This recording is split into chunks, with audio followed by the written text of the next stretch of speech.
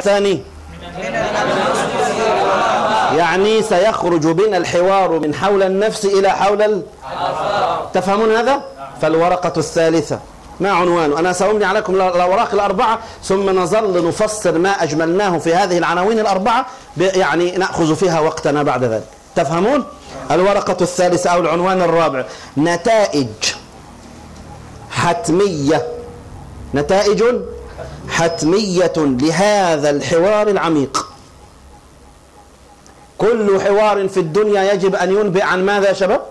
نتائج. النتائج الحتمية عن هذا الحوار العميق. الذي كان حول ماذا وماذا؟ عن النفس أولا ثم انتقل من النفس إلى فما النتيجة؟ ما الشيء الذي ألمسه بيدي بعد هذا الحوار والنقاش المعمق جدا حول النفس وال والآفاق هذا عنوان رقم كم؟ ثلاثة. هذا يا شباب نفرع منه. سبع أفرع. كم؟ كأنها سبع ثمرات لهذا الحوار المعمق. كم ثمرة؟ سبعة. فرع من هذا العنوان سبعة أفرع. الفرع الأول اسمه قديما. فقط كلمة واحدة. ماذا؟ قديما. الفرع الثاني باقيا. الفرع الثالث قادرا. الله الله الله الله. الثالث ماذا؟ قادرا. الرابع مريدا. الخامس عليما. السادس حيا. كم كم فرعا كتبتم؟ هل كتبتم بالفعل؟ حتى كتابتكم أصبحت سريعة. ما شاء الله. تتدربون بالفعل. هذا هذا العنوان ما ما ما بماذا أسميناه؟ ففرعنا منه كم فرعا؟ كم يا شنوان سبعة. الفرع الأول؟ قديما. الثاني؟ أحسنت. الذي لم يكتب يكتب. الثاني ماذا يا شباب؟ باقيا. الثالث؟ قادرا. كتبت يا شيخ حسين؟ قادرا. الرابع. كتبت. لا تفوت كلمة. الرابع ماذا؟ مريدا. الخامس؟ ها؟ وصلت؟ عليما. السادس؟ حيا. بقي لي كم فرع في هذه الورقة؟ طيب اكتب اسم الفرع السابع. مسألة دقيقة حول السمع والبصر والكلام. مسألة دقيقة. دقيقة يعني عميقة يعني تحتاج إلى فهم. مسألة دقيقة حول السمع والبصر والكلام. مسألة دقيقة حول السمع والبصر والكلام. يا شباب راجعوا معي هذه الورقة الثالثة. ما عنوانها؟ وأريد أن أقول لكم وسأكرر وسأتكلم عن هذا بشيء من العمق. كل عمل تقوم به في حياتك يجب أن تكون له ثمرة. يجب أن تكون له ثمرة. فإن عملت عملا ثم لم تجد له ثمرة تعاود فعل هذا الفعل عمل مرة أخرى؟ بل اتركه. فأنت جئت إلى الدرس وجلست لتكتب واستمعت بالساعات الطوال فما هي الثمرات؟ فإن لم تجد ثمرات ففعلك عبث. ففعلك ماذا؟ فإياك أن ترضى لنفسك أن تفعل فعلا عبثيا لا نتيجة له. إذا لا بد وأن تبحث في كل درس وفي كل محاضرة وفي كل دورة عن ماذا؟ عن الثمرات والنتائج التي خرجت من خرجت بها. فإن لم تخرج بثمرات فاحبس نفسك في دارك ولا تخرج منه. لابد أن تخرج بماذا؟ بثمرات. فهذه الورقة فرعنا منها كم فرعا؟ لأنها ثمرات ناتجة حول الحوار المعمق عن ماذا وماذا؟ الله عليكم. فهمتم يا شباب؟ هذا الذي نفعله الآن تجهيز الأدمغة لما كتبه الإمام السنوسي. هذا في غاية الدقة. ربما يكون أهم من القراءة نفسها. صحيح؟ ها تمهيد للدماغ لتفهم. طيب فرعنا منها كم فرعا؟ الأول؟ الرابع؟ الخامس؟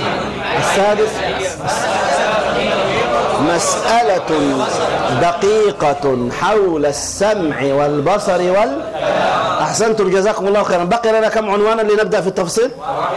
عنوان واحد. أسميته أنا الورقة الرابعة هذه. حوار. اكتب. حوار. حاء وواو وألف وراء تفهم؟ حوار. أكثر عمقا. يا نهار أبيض. ده شيء عجيب جدا. حوار ماذا يا شيخ؟ أكثر عمقا. من الحوار الذي كان حول ماذا؟ حول النفس والافاق تفهم يا شيخ حسين؟ هكذا الدروس. حوار ها؟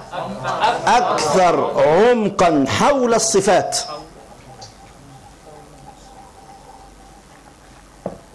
حوار أكثر عمقا حول ماذا؟ الصفات. خذ يا سيدي. وفرعنا منه ثلاثة أفرع فقط. كم فرع؟ وهذا الكلام يا شباب يعني لا بد وأن نست... بإذن الله بإذن الله أن نستوعبه. اكتب الفرع الأول. الصفات. ها؟ ها؟ الصفات. تلازمها الصفات. ها؟ تلازمها معان تقوم بالذات. هذا عمق أعمق علم الكلام علم العقيدة. الآن نحن في لجته في لجته في عمقه. أقول العنوان مرة أخرى. أنا أردده أكثر من مرة فلا تسأل من بجوارك انتظر وما فاتك ستكتبه. ها؟ يا سيدي الكريم أقول الفرع الأول صفات تلازمها معان تقوم بالذات. الص- الصفات تلازمها معان تقوم بالذات. ما معنى هذا الكلام؟ آه يعني سنعرفه عندما نقرأ. عندما نفصل. الصفات ماذا؟ معان ماذا؟ تقوم بالذات. الفرع الثاني. كلها قديمة. إيه؟ هذا العنوان. كلها قديمة. الفرع الثالث. يجب لهذه الصفات الوحدة. يجب لهذه الصفات الوحدة. ونقف عند هذا الشطر الأول من العقيدة السنوسية. بهذا نكون قد قرأنا لكم ثلثها. وانتهى الدرس خلاص. تريدون شيئا جديدا؟ تفصيل ماذا؟ أنا أعطيتك كل ما فيها. خلاص لا يوجد شيء. هل تريدون شيئا؟ تفصيل؟ هيا إذا إلى التفصيل. بعد أن أتتكم الأخبار مجملة فهيا إلى الأخبار بالإيه؟ وتفضل ها؟ الفرع الثالث. يجب لهذه الصفات الوحدة. مش الواحدة الوحدة الوحدة. يعني إيه يا شيخ حسين؟ ستعرف. فقط إيش؟ اهدأ واحتاج إلى صبر أيوب. الآن أنا أمليت عليكم كم ورقة كم عنوانا يا شباب؟ هذه العناوين الأربعة عبارة عن ثلث العقيدة الكبرى. وأنا لست مستعجلا هذه المرة. ويختلف هذا الدرس وهذه الدورة عن الدورات السابقة. فإني قارئ لكم كلمة كلمة.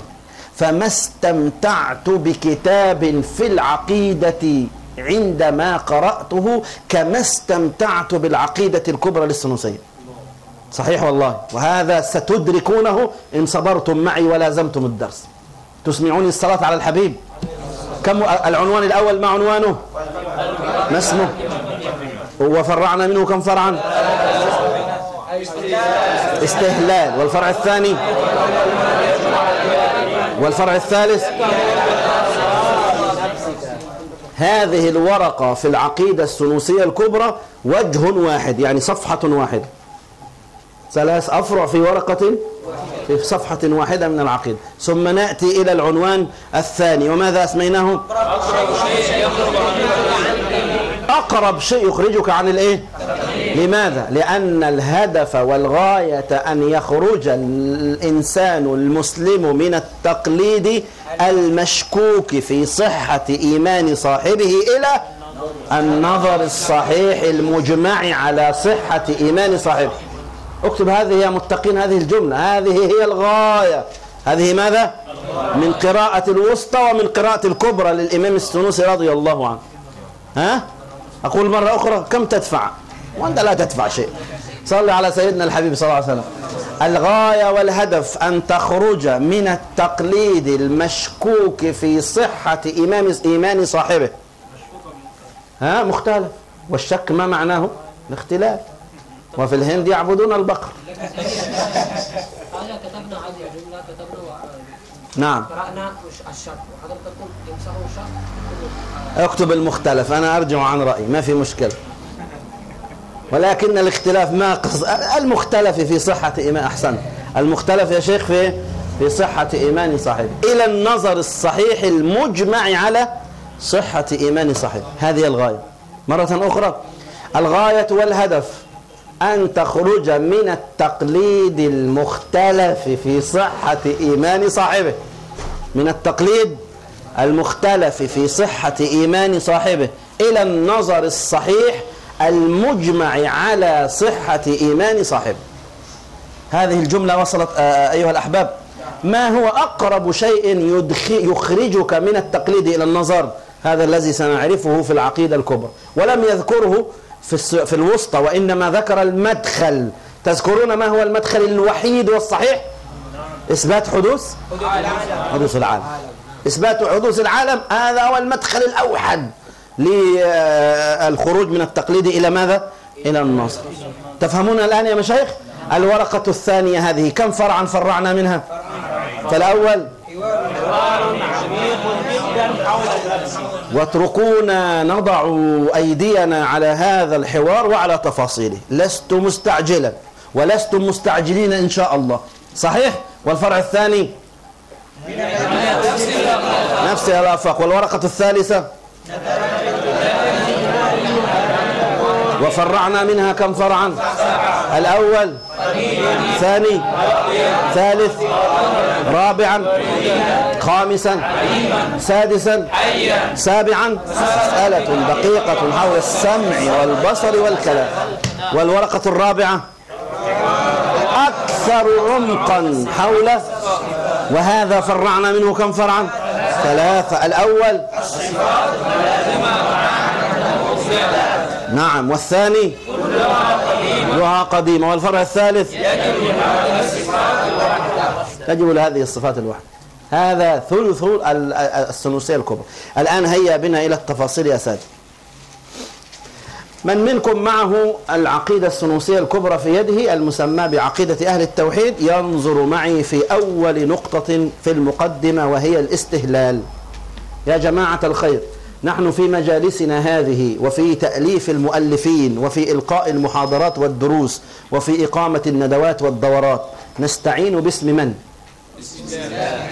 تبركا لأنه كل عمل لا يبدأ فيه ببسم الله فهو فنحن قد بدأنا لقاءنا هذا ولقاءاتنا الماضية مستعينين باسم من؟ بسم الله وتذكروا هذا جيدا والخطأ وارد والعصمة للأنبياء العصمة لمن يا شباب؟ أنا يا جماعة بهذه العبارات أضع لكم منهجا وطريقة في التفكير لا تظنن أن شخصا لا يخطئ فالخطأ سمة البشر الخطأ سمة ماذا؟ البشر فاستعن بربك على هذا الخطأ لتصححه واستعن بربك على جهلك لترفعه وتضع مكانه ماذا؟ العلم ولن يحدث هذا إلا مستعينا بمن؟ بالله سبحانه أن يهيئ لك الأسباب وأن يجري على يديك الخير وأن يجري على وقتك البركة. تفهمون يا شباب؟ هذا هو الاستهلال الذي استهل به مولانا الإمام السنوسي كتابه. بماذا استهل كتابه؟ بالبسملة والصلاة والتسليم على سيد الخلق صلى الله عليه وسلم. وهذا يا جماعة يجب أن يكون دأب كل إنسان في كل عمل. في كل إيه؟ أن يبدأ بالبسملة أو بالح... وهذا تفاصيله ذكرناه قبل ذلك. البداية الحقيقية والبداية الإضافية ليس هذا وقت تفاصيل. جيد؟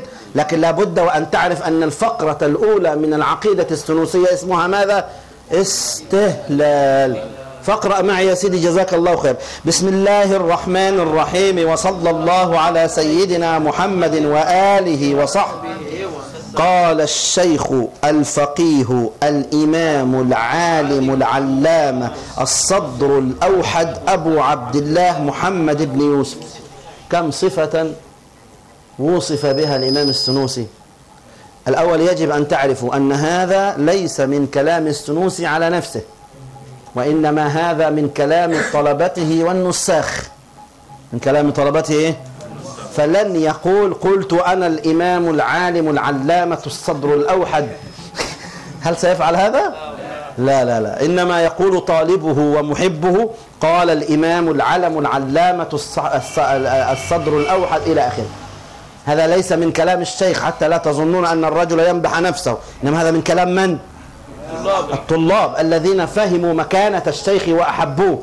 اسمع ما بكم أعد مع الصفات التي وصف بها. قال قال الشيخ الشيخ اثنان الفقيه ثلاثة الع... الإمام أربعة العالم تلا... خمسة الصدر الأو... العلامة العلامة ستة الصدر الأوحد. ست صفات.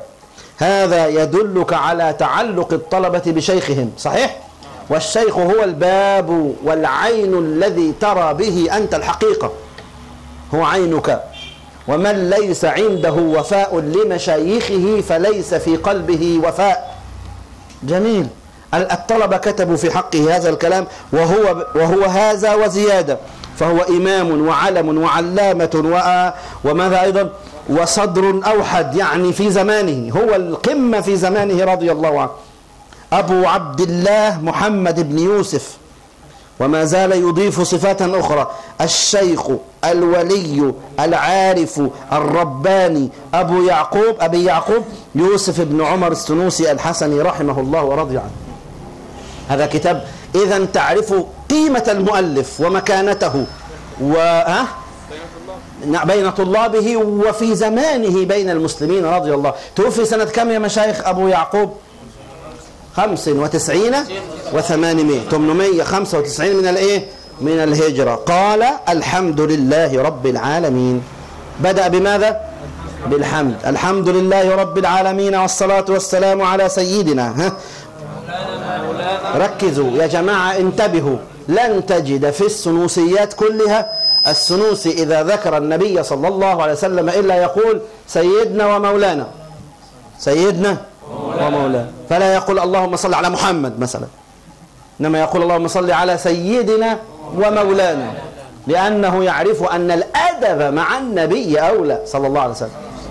ولا تسيدوني في الصلاة قال ابن الجوزي حديث لا أصل له. حديث إيه؟ آه. إذا يجب أن نقول على سيدنا إيه يا شيخ؟ سيدنا. لازم نقول على سيدنا إيه؟ سيدنا. فلا يخرج إنسان غر ساذج يقول اللهم صل على محمد. ثم أراد أن يتكلم عن مريده عن مديره مثلا يقول قال حضرته وسيادته وفضيلة جنابه. هذا عيب وسوء أدب مع النبي صلى الله عليه وسلم. فقد رأيت أحدهم مرة في درسه يقول وقال النبي محمد. وذكر الحديث. ثم راح يشرح فاستشهد بعبارة قالها ابن تيمية. قال النبي محمد ثم قال في الدرس وقد قال شيخ الإسلام وإمام الناس العالم العلام البحر الفهامة شيخ الإسلام ابن تيمية. فابن تيمية له سطرين والنبي له محمد فقط. هذا سوء أدب. هذا. سوء أدب. نعم لم ينطق باسمه مجردا صلى الله عليه وسلم وإنما. لا أيها النبي. صلى الله عليه وسلم. انتبهوا يا مشايخ. الحمد لله. إيه؟ رب العالمين ها. والصلاة والسلام على سيدنا ومولانا محمد خاتم النبيين وإمام المرسلين ورضي الله عن أصحاب رسول الله أجمعين وعن التابعين ومن تبعهم بإحسان إلى يوم الدين. هذا كله كلام في الاستهلال. وإذا رحنا نفصل ونشرح بالتفصيل نتكلم بالتفصيل فنقول ما الفرق بين النبي والرسول وكما يفعل الشراح لكن هذا ليس أوانه وهذا ليس المقصود.